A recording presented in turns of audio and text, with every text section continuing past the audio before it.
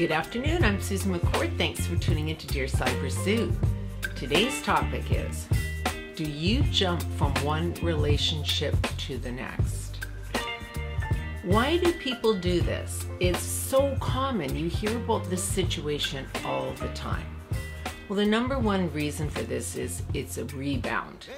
A lot of people, after they have a breakup, they're really distraught. They can't understand how they're going to be able to be alone and they're missing so much of being in a connected partnership. So they don't take the time to figure out what went wrong in their relationship and they go into another one fairly quickly because it lessens the pain, it lessens the heartbreak. Or so everybody thinks. Unfortunately, what happens is you're taking a lot of emotional baggage with you to the next person you date or you end up in a relationship with. The situation that happens here, though, is that you're shortchanging yourself because you're not getting fulfillment out of it. You're just going into a relationship because it's available, it's there. You might like the person, but you're not necessarily in love with them but it just makes everything so less heartbreaking. But think about the other person that's involved here.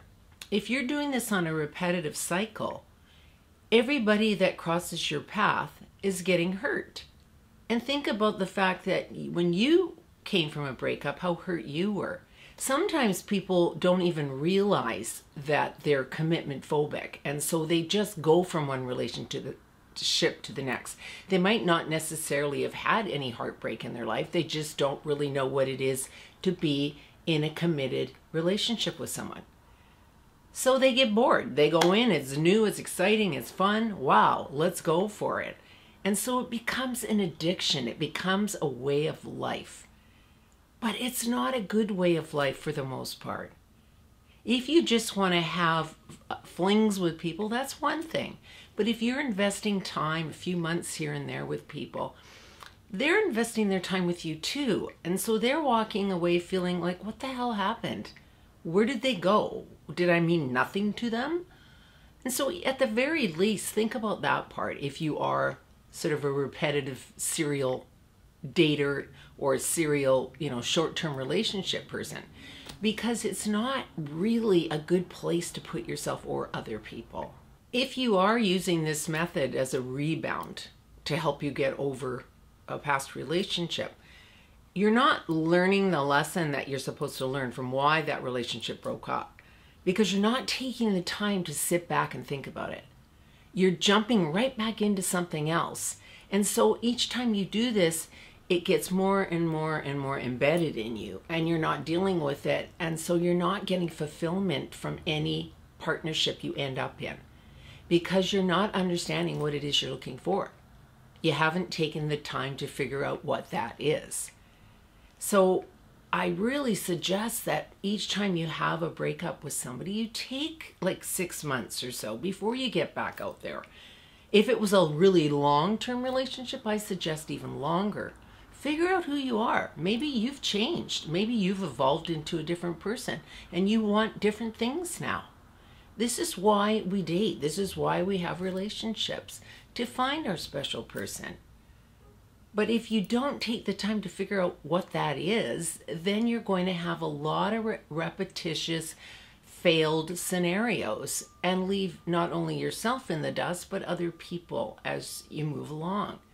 Because going from one relationship to the next shows that you're not really emotionally available to receive a new partnership in your life.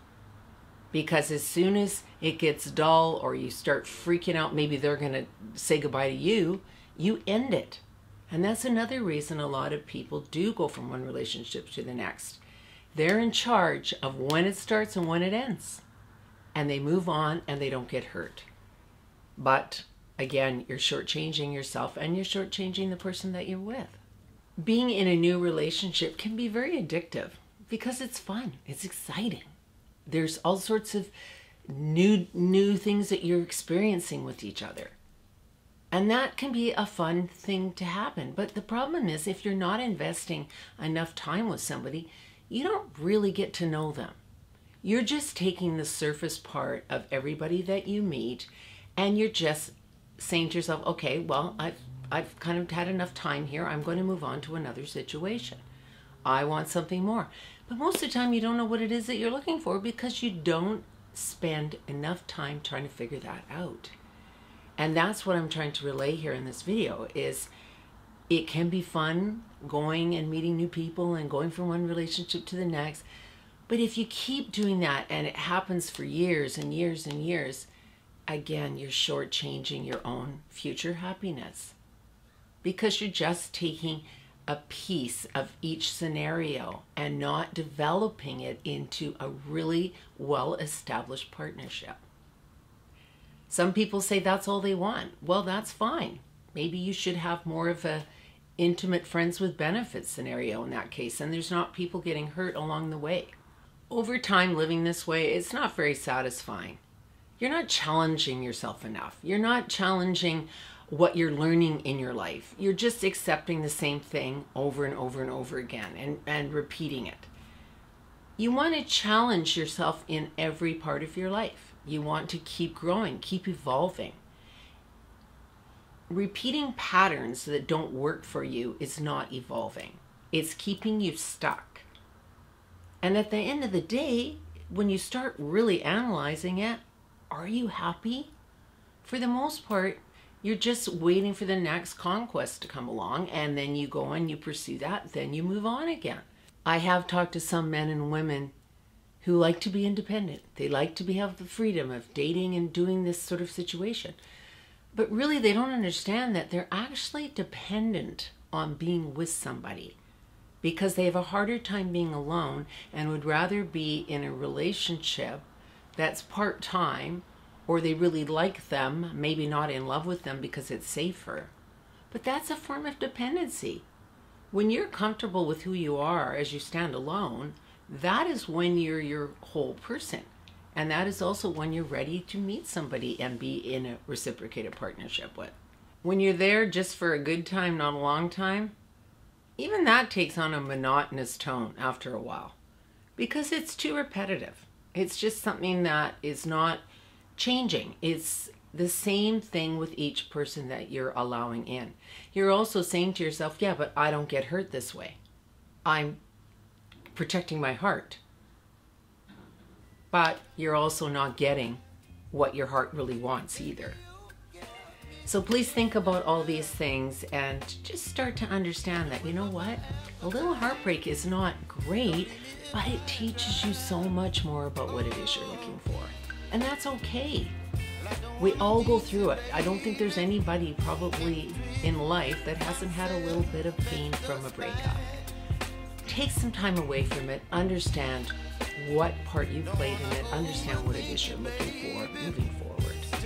Thank you so much everyone for tuning in today. Please subscribe to my channel and please leave any comments you have under the video. I really appreciate it. Thanks so much.